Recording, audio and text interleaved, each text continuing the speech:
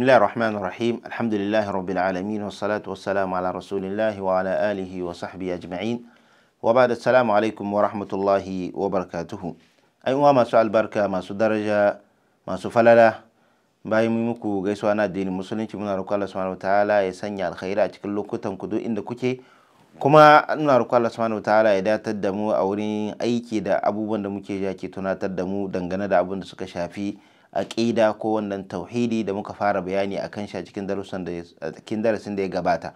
Wanda muna roƙon Allah subhanahu wataala ya datar da mu kuma ya sanya mu daga cikin wa'anda za su yi aiki da abin da ake tunatar da su.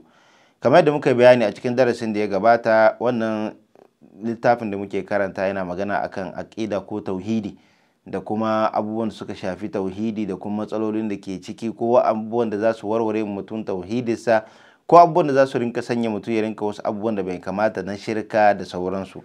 Wanda wannan littafi babban majalisa ko mu ce kwamiti na da'awa a ƙasar ifirikiya wanda ake kira lajinatu da'awa fi ifirikiya su ne suka wallafa wannan littafi ba don komai ba don saboda faɗakar da al'umma da tunatar da su dangane da wannan abu mai mahimmanci shine tauhidi kada ta Allah subhanahu ta'ala a wurin bauta.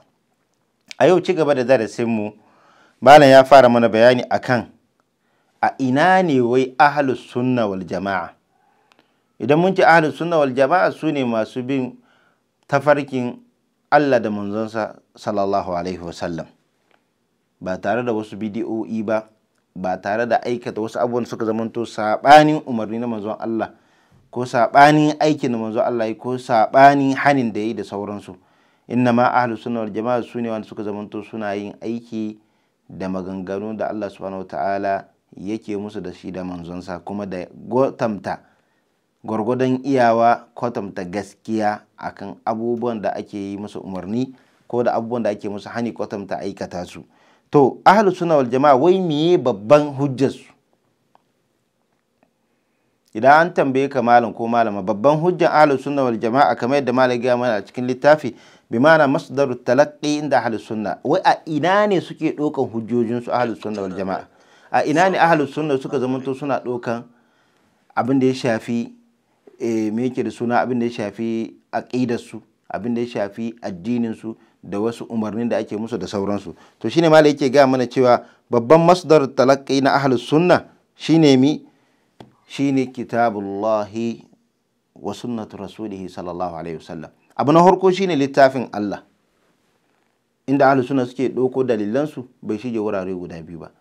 Littafin Allah kamar da Allah subhanahu wataala yake cewa makhtalaftum fihi min shay'in fa hukmuhu ila Allah. To haka ahlus sunna suke.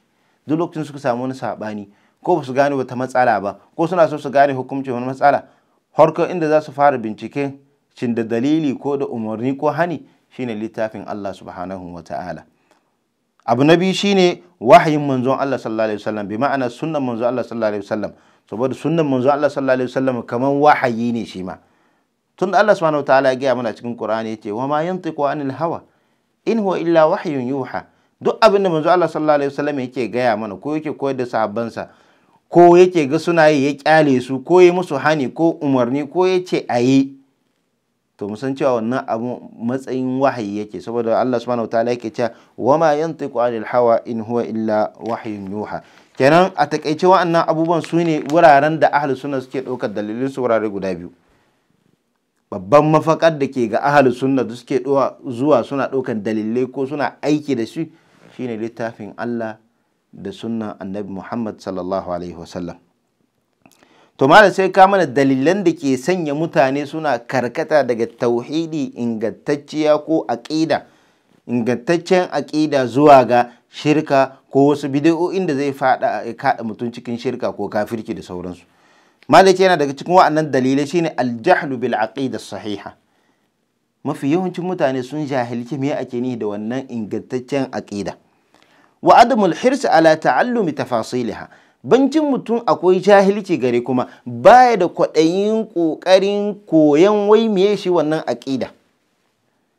Misali kai ne aka ce kai baka san aƙida ba kai kuma baka je wurin malumma waɗanda suka zamanto sun ɗauki sunayen malumma ko almajirai na gari ka je ka nemi sanin wai me ake nufi da wannan aƙida dan ka gyara aƙidarka. Ga jahilci kuma ka samu kujera ka zamna. To shine yake yana daga cikin dalilan da ke sa ana yawo da hankalin al'umma. Ana yawo da hankalin mutane. Mutum kai ga ka da jahilci kuma baka je kan nemi sanin ilimi wannan abin da kake rasa kan rasa shi ba. Shine ce baka je ka nemi ilimin sanin shi wa ma'rifatu adillati shar'iyya. Baka je kun kan nemi sanin wai meye dalilan wannan abubuwa wanda shari'a ta halitta su ko ta yi hani akai to wallahi wannan abin shine kai mu ya baro. Ai ta wasa da hankalinmu. Yau wane ya zo ya ce maka wannan abun baki ne? Gobe wanga ya zo ya ke hori ne. Wanga ya zo ya ce maka ja ne. Duk abin da ya sa haka rishin sanin ilimi wannan abu.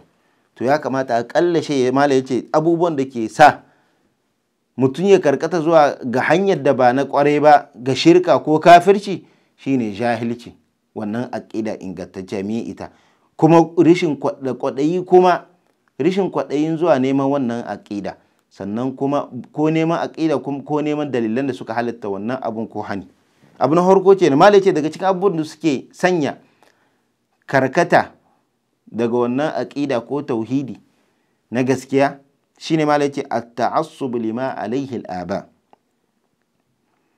Wa in kana batila shine nuna kishi akan abin da aka iske iyaye da kakanni misali idan iske suna cikin kuskure.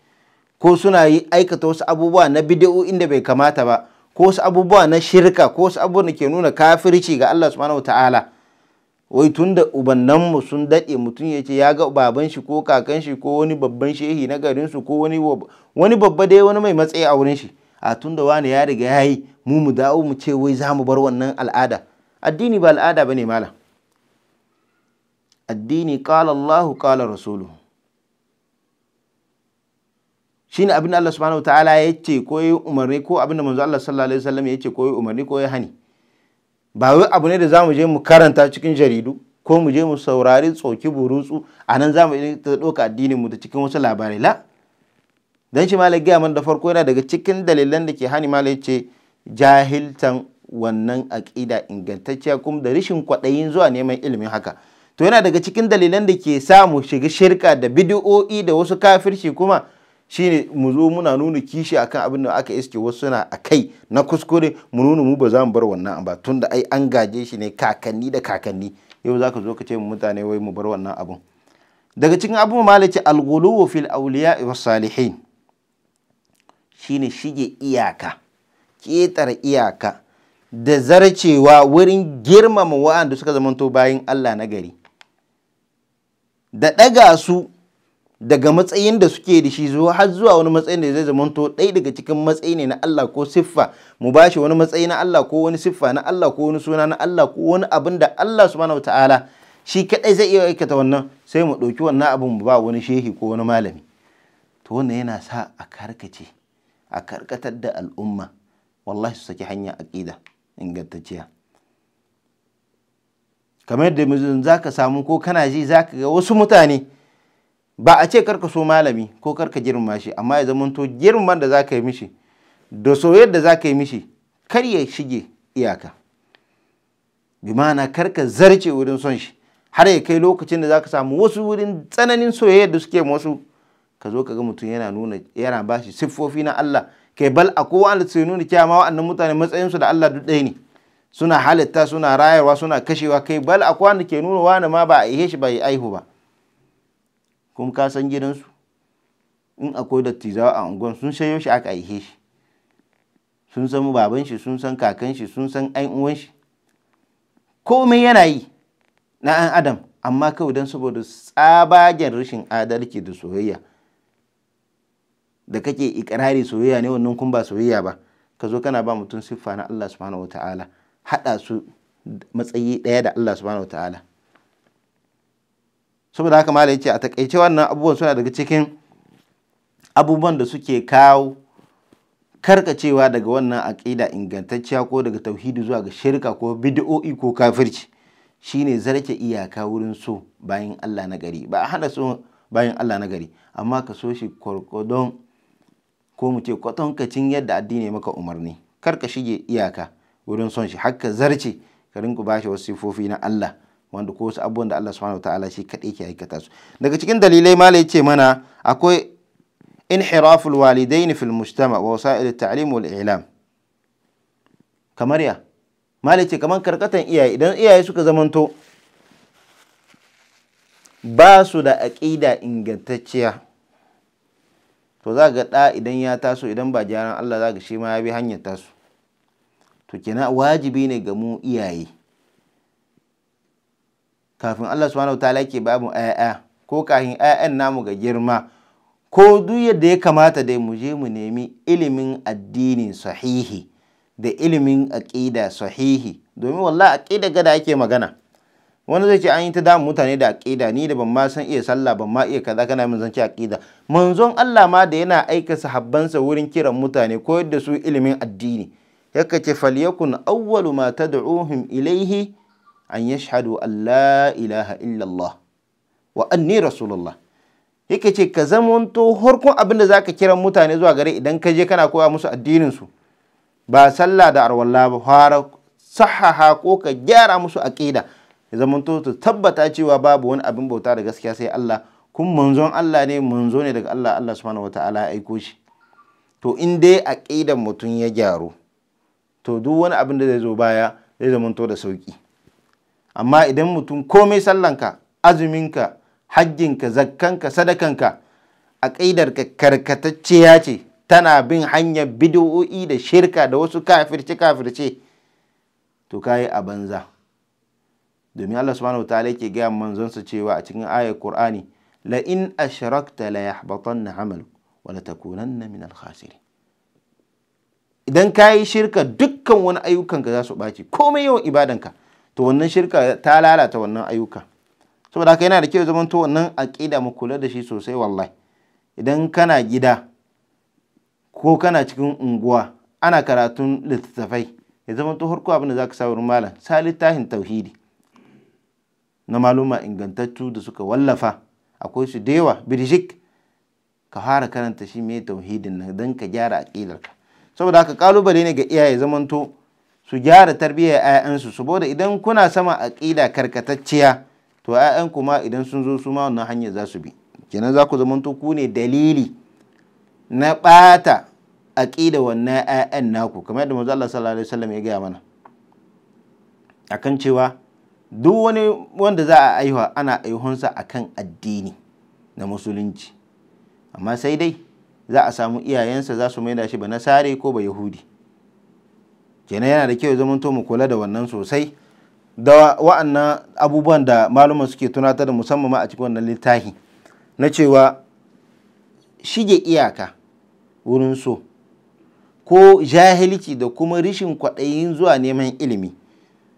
Yake wannan yana daga cikin mayyama dalilan da ke sanya muna sake wannan hanya madaidaiciya na aƙida. Saboda haka daga nan za mu gane ko kafin haka ma ilimi wajibi ne mu tashi mu neme shi musamman ma ilimin addini. Ba mu yi ta kashe kawunan mu akan ilimi na duniya wanda idan ka je ba za a tambaye ka komai akai ba mu ce kar a yi ba. A yi domin Allah subhanahu wa ta'ala ce wala tansa nasibaka min ad-dunya. Amma kuma lahira ita ce ita ce babban gaya ita ce manufa da Allah subhanahu wa ta'ala ya halicce mu dan shi. Bi ma'ana dan mu yi ayyuka dan mu yi bauta dan shi da yake wa ma khalaqtul jinna wal ins illa liya'budun. Saboda haka yana da kyau mu zamanto mun kyautata aqidar tamu kuma mun iya ƙoƙari wurin neman ilimin sani wannan aqidar kuma abubuwan da za su gyara mana shi. Anan za mu dakata muna roƙon Allah subhanahu wa ta'ala abubuwan da muka fada daidai ya ba mu ladan shi. Kurakuran da muka Allah ya gafarta mana da mu da ku baki ɗaya insha Allah za mu haɗu a cikin darasin mu na gaba. Wa sallallahu ala nabiyina Muhammad wa ala alihi wa sahbihi ajma'in. Assalamu alaikum wa rahmatullahi wa barakatuh.